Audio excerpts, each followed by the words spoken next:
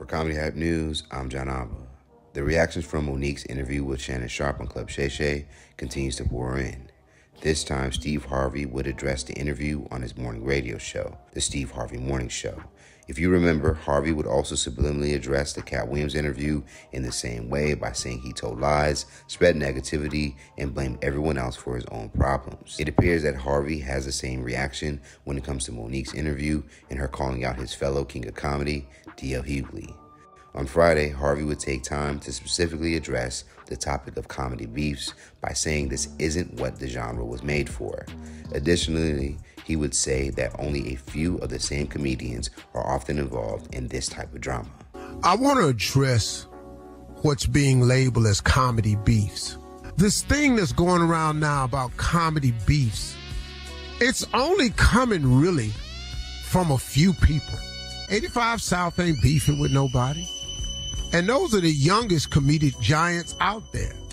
What you're seeing, man, in these comedy beefs are people who aren't where they used to be. Now, without saying any names specifically, Harvey would then tell his listeners that he was a headliner in comedy since 1995, and there has never been a question as to who's headlining the show because it's put in his contract. According to Harvey, it was understood, particularly when he was on the Kings of Comedy tour, that each comedian would headline their own hometown. Bernie headlined Chicago, Cedric headlined St. Louis, and DL closed Los Angeles. The only exception would be during a stop in Baltimore where Chris Tucker joined the show and the promoter wanted him to close the show. Harvey stated as long as he got paid, he didn't mind. This, of course, would be in reference to the very public back and forth between D.L. Hughley and Mo'Nique, which was reignited after Mo'Nique's interview on Club Shay Shay. You see, back in 2021, the two were scheduled on the same lineup, and it appears that both parties were told they were going to close the show. Mo'Nique would take to the stage first and publicly roast Hughley. Unfortunately, the roasting didn't stop there as it continued for the next few weeks and got ugly and personal after family was mentioned. On his radio show, Harvey would go on to say that there's no such thing as a memo, only a contract. This was also in reference to both Hughley and Mo'Nique posting deal memos and contracts in order to prove who was the true headliner of that show.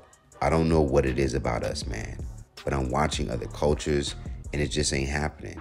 It ain't no white groups battling. It ain't no white comedians battling. It ain't no white superstars going at each other and attacking each other.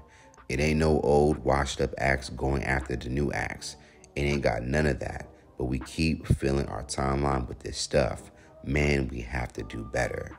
So, what do you guys think about Steve Harvey's reaction to Mo'Nique's new interview on Club Shay Shay? Let's talk about it more in the comments below. Stay up to date with the latest news and comedy by subscribing here to our YouTube channel and check out the Hype Market for all your cool and original merchandise. And plus, if you're watching this on YouTube and enjoy this story, send us a super thanks by hitting a button below and tip us what you want to show your support. For Comedy Hype News, I'm John Apple. You also intimated that I was coward. You know what I'd never do?